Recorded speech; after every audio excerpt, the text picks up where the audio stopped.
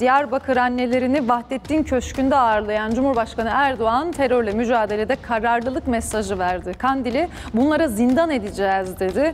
Kudüs'te Mescid-i Aksa'ya saldıran İsrail'e de sert tepki gösterdi.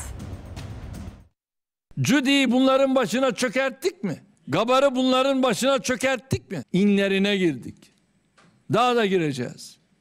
Onlar kaçacak, biz kovalayacağız.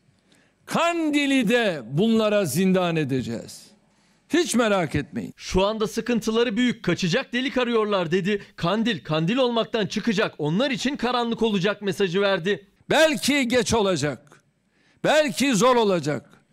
Ama zafer inşallah sizin gibi inanan annelerin birlikte inşallah zaferi olacaktır. Evlat nöbetindeki Diyarbakır annelerini Kadir Gecesi'nde iftarda ağırladı Cumhurbaşkanı. Hem anneler gününü kutladı hem de uğruna gözyaşı döktükleri evlatlarına seslendi. Karşımda şu anda cennetin ayakları altında olan anneler var. Gençler, evlatlarım, annelerinizi üzmeyin. Annelerinizi mağdur etmeyin. İsrail'in Kudüs'te Müslümanlara uyguladığı zulüm de gündemindeydi. Alçak saldırıları derhal durdurun çağrısı yaptı. Zalim İsrail, terör devleti İsrail, Kudüs'teki ibadethanelere ve Müslümanlara yönelik her saldırı aynı zamanda bizlere yapılmış saldırıdır. Kudüs'ü ve Müslümanları koruyamayan bir dünya kendi kendine ihanet etmiş.